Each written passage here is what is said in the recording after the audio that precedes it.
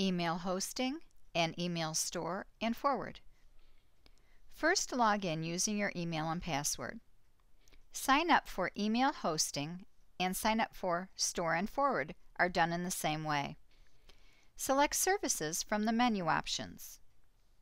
Select email hosting and then order now. You will need to either register a new domain, transfer an existing domain, or use an existing domain and handle your own name server updates. For this example, we will register a new domain. Then select the billing, cycle, and storage amount desired. Then complete the checkout process. To administer your email accounts, first log in using your email and password. Select My Services and locate the email service. Then click the icon on the right. This screen shows basic product details. To add, change, or manage mailboxes, click the Manage Mailboxes button. To add mailboxes, click the Add Mailbox button and enter the details.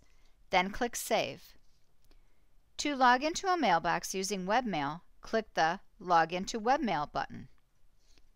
Also displayed is each mailbox, the date it was created, the last login, its quota, and its status.